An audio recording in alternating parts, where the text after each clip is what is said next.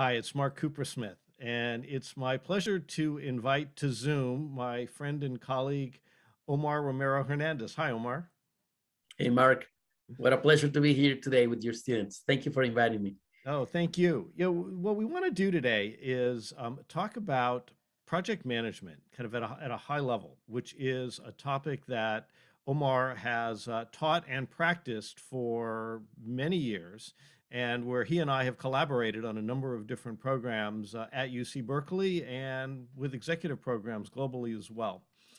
Um, and in particular, for the purpose of this video, what I wanted to do was to take my core curriculum around entrepreneurship, which is a big project, and talk to Omar a little bit about how he might apply, how some tools that he might use to our teams um, with regard to project management. So if you'll give me just a moment, let me set this up from the standpoint of kind of how we look at this. So in my entrepreneurship courses, we start out with a lot of individuals and a lot of ideas. And we start to populate those ideas and say, which are good ideas? And some of the ideas through some processes we go through in class become the ideas, the concepts around which we form project teams. And from there, over the course of the semester, each of these teams takes that core concept, that idea, and they go out and they research the problem that that idea addresses. Is it a compelling problem? They talk to customers, they build prototypes, they understand business models, they look at competitors and markets, they figure out how they go to market, uh, they start to build some financial metrics around it. And through all of this, they're building the different building blocks, the components that come together at the very end in our own demo day presentation or our demo day pitch, which is very similar to what entrepreneurs do when they pitch angel investors or venture capitalists. So all of these different pieces, there's a lot of different components and building blocks come together into a cohesive whole at the end.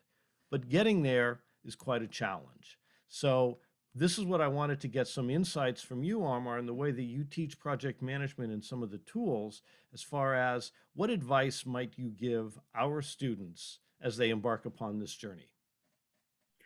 Absolutely. Let me start by telling you that I feel you're teaching some of the most exciting type of projects that we can think of. Why? Because it all may start with just a project idea, a very early idea that eventually you want to see in big, creating a big impact, either financially, socially, environmentally speaking, you name it. But that that space between the idea and what you want to achieve at the end well, all that journey is something where project management can play a role. Why? Because we want to increase the chances that your project idea ends up being successful.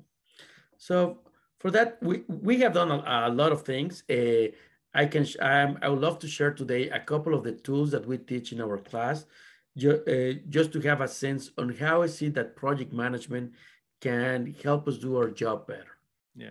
For that is as as you as you think you know get ready for that one of the key things that i do want to make clear is while we're doing this from within the context of how we teach this at uc berkeley this same approach my curriculum is taken very much from the real world and the way startups launch and these tools that you're talking about are just as applicable to real world startups as well so if you're an entrepreneur launching your own venture not necessarily in a classroom these same tools are just as valuable. And I just wanted to reiterate that as well.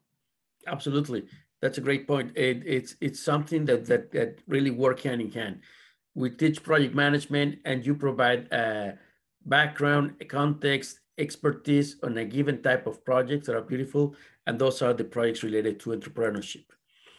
With that in mind, just uh, I, I just want to share a couple of slides to have a sense of what are the kind of tools that we can work on together. First, as funny as it sounds, one of the common reasons that sometimes project failed, a project might fail because there was no clarity on what you have to achieve, or that or that goal was not clearly communicated. So usually we start by defining through a project charter or statement of work, what will be the characteristics of the project that we need to make sure that are clearly understood. Now, that's where you provide context, information about why, how is it that this project started. That's where you get a chance to, to establish some objectives look that we're using the word smart.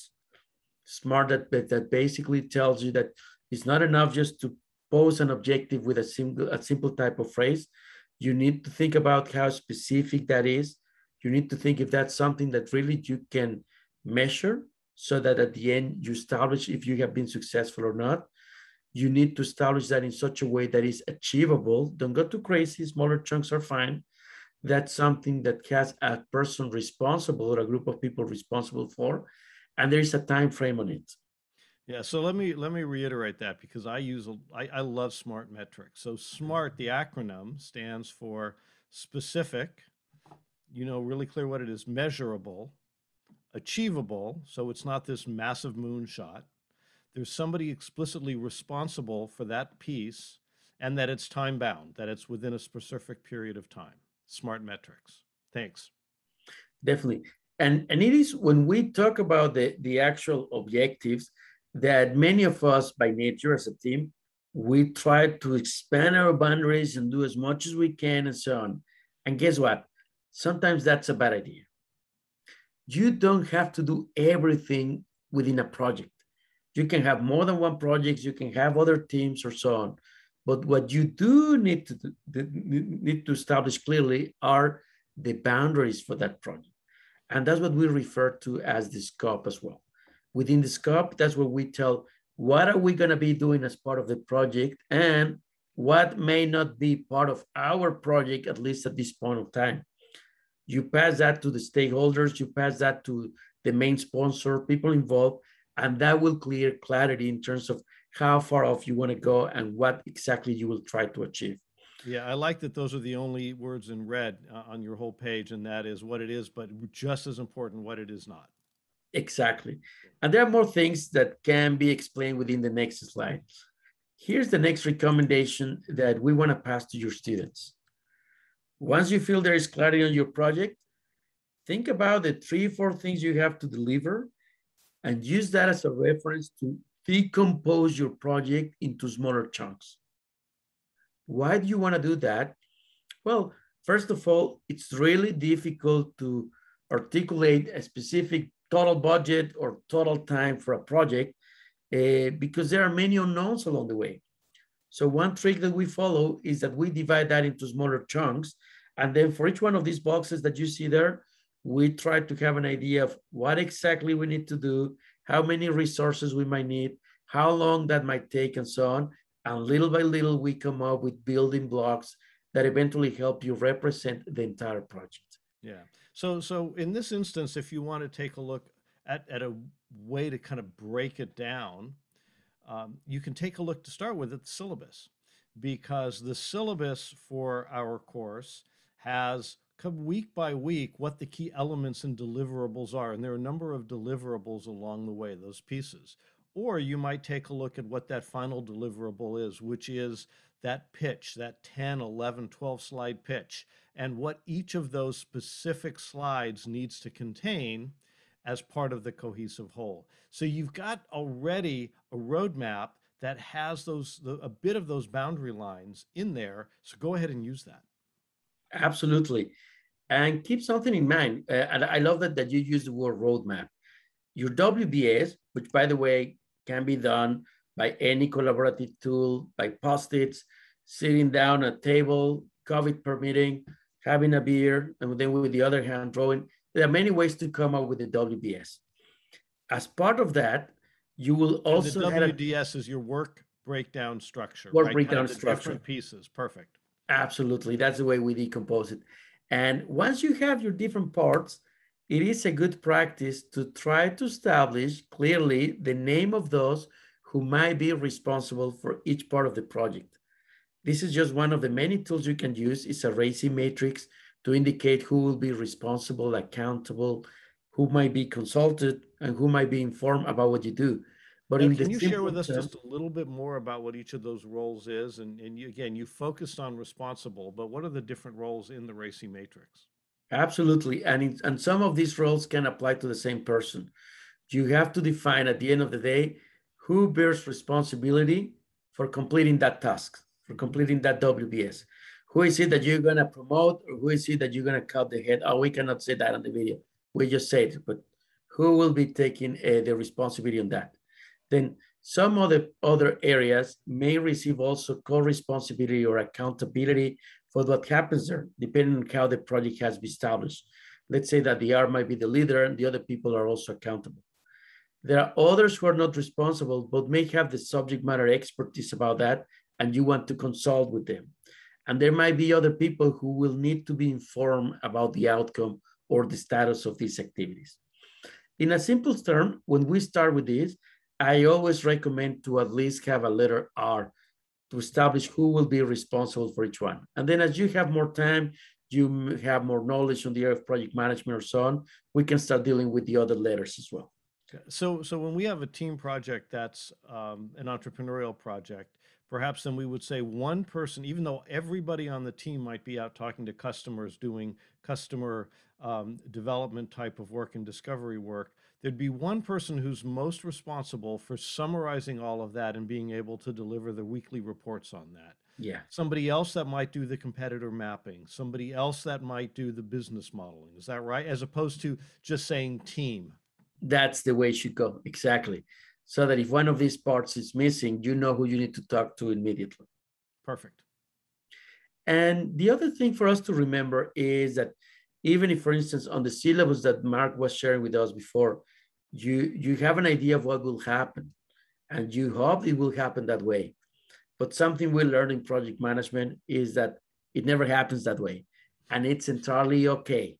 One of the many tools you want to bring also to the table is at least a conversation, a qualitative map that is nothing but just a list of potential events, internal, external, that you can or cannot control, which may have an impact on the cost, the time, the specifications of what you are delivering. And if you and your team sit now, sit down now and spend 20, 30 minutes, you'll see how quickly you can start coming up with some ideas. You can have a subjective, I admit it, in this first stage, a subjective sense of how likely these events might be, and also a sense of how impactful those events might be to your project. Map them out and have a conversation about what do you think will be best to do in case that any of these major events take place. Yeah. Now, now, Omar, I mean, we're doing startups, so we're dealing with the great unknown, right? We're coming up with ideas, we're, we're trying to develop new solutions. So chances are a number of the assumptions, the hypotheses that you have about the problems or the needs, your solutions, how customers will react, how partners will react, will be wrong. So you need to really be ready with a plan B. And in particular, when you are wrong, just like my book, right? The other F word, how you put failure to work. When you are wrong, what insights did you get from what you learned along the way that you might use for even a better plan B? So I think this is a really important element, even just from kind of a mindset standpoint, being prepared for things that don't go as according to plan. Exactly. And be open and adapt yourselves. Things will happen. That's a guarantee. Yeah. What we don't know exactly is what exactly will happen and when. So, Omar, that's fantastic. I mean, those Thanks. are some tools that we can all use. They're pretty straightforward. Thank you for sharing. Omar has, has generously agreed to share those slides with us. So, um, if you're taking my course and you're watching this, then in Canvas or bCourses, you'll find them in the files section that has resources. Otherwise, you know how to find me, and I'm happy to share those as well. Omar, any any kind of last words as we wrap up this video? Well, just remember that doesn't matter what you do. At the end of the day, that's probably a project, and the more prepared you are to understand how to plan, articulate, and execute project, the higher the chances that your key goals at the end will be accomplished. Yeah. Good luck on that. Yeah, no, I think that's right. And in general, too, kind of in life, as I look back on my career, um, the people who knew how to keep projects on track, who were leaders, teammates, could understand how to operate within a team environment and drive accountability, those are the people that fundamentally, you know, over the long run, end up doing better. So these are really valuable life skills, valuable workplace skills, valuable entrepreneurial skills. Omar, thank you so much. My pleasure. Thank you for inviting me. Bye. All the best.